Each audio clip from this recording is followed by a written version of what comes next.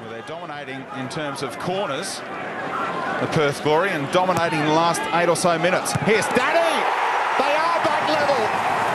Eugene Dadi back in the starting lineup tonight has his ninth goal of the season, the first time a Glory player has got to that mark in the history of the A-League. Wonderful set piece for the Perth Glory, fully deserved too.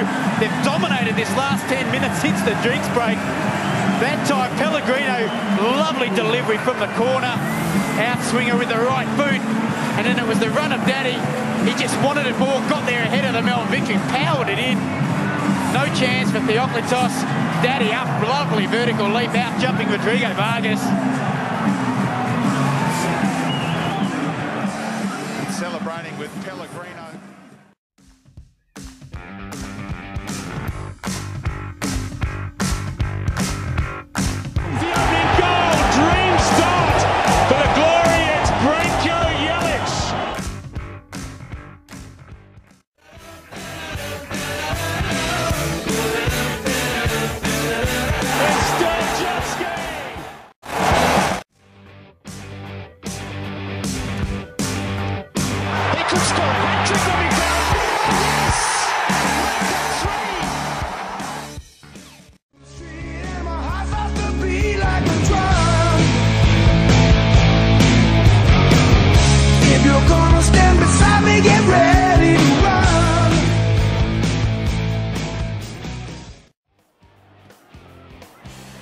Pellegrino.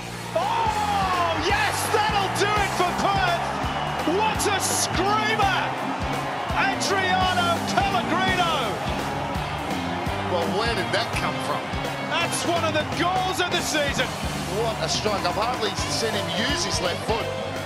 But that's a wonder strike from Pellegrino.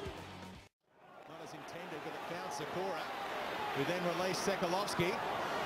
Not a bad ball either. Pellegrino! Adriano Pellegrino with a superb strike. He's been out of sorts today, but he just waited for that opportunity and hit it beautifully.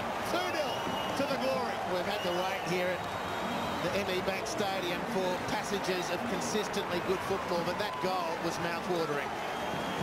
You know, with the greatest of respect to Adriano Pellegrino, today hasn't been one of his best days, but this will be one of the better moments of his career. Fantastic goal in construction, beautiful ball by Sekalovsky to the back stick, and you were just thinking, Adriano, just hold your nerve, hold your nerve. I don't know if he held his nerve or not, but he found the target. Perth, two goals to the good. That is a beautiful piece of finishing, very difficult to execute, and almost the best parts of that goal, the finish aside, happened on halfway when Perth first launched the attack. Great football, Perth Glory. Right in front of the shed from Adriano Pellegrino, his third goal for the glory. Scored a cracker against the Melbourne victory.